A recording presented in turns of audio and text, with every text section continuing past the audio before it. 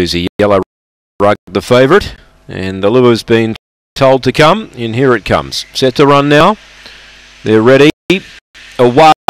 Favourite only fair out. Missing it was Dinosaur badly. Speed here, Heartland Ruby. Out wide, Victor Susie.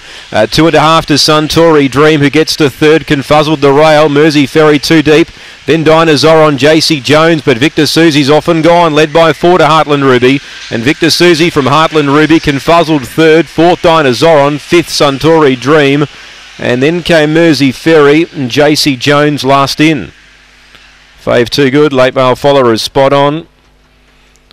And gets the money. Victor Susie, bit slow early but mustered up, took the lead, got clear. Heartland Ruby tried hard, confuzzled gets third. And fourth goes to number two, Dinosaur It missed the start by four and has made up a lot of ground to get fourth. Five and a quarter by a length and a half. Five and a quarter, a length and a half. Five, one, seven and two. 18.39 the time. Five, one, seven, two on the third. Run home in 12.26. And 18.39 the time. Five and a quarter the winning margin. Favourite gets the money for Mick Giniotis. Victor Susie, 5172. We stand by for the all clear.